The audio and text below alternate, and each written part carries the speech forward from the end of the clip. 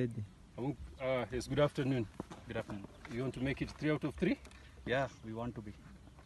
What's We have uh, a very strong team, as you've seen last past two games, uh, batting and bowling, everything.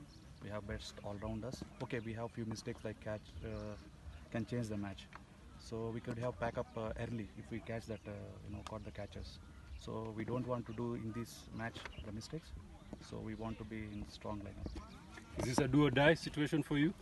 No, it's not at all. But uh, let's our try best Okay. to reach final. All right. So so good luck, and I hope you get to the final. Thank you. Thank you very much.